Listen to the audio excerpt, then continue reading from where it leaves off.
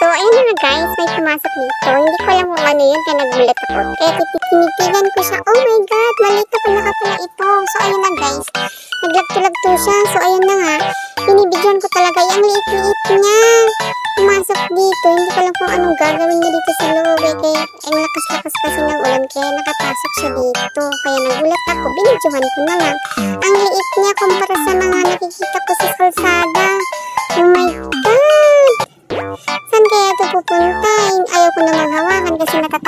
Ako. Kaya ayun, pinanood ko na lang at saka binidyo ko kung saan, ako, saan siya pupunta. Eh, kaya ngayon, hindi ko na alam kung saan na siya.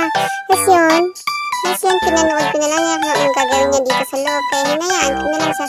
Baka sumilong siya kasi malakas yung ulan dito sa amin. So, yun na guys, pinabayaan ko na talaga siya. Sige lang, enjoy. Malawak naman yung stay mo dito. At saka, free rent naman yan. Walang bayad. Kaya enjoy. Sana nga swerte ka dito para bonggang-bongga. Bye.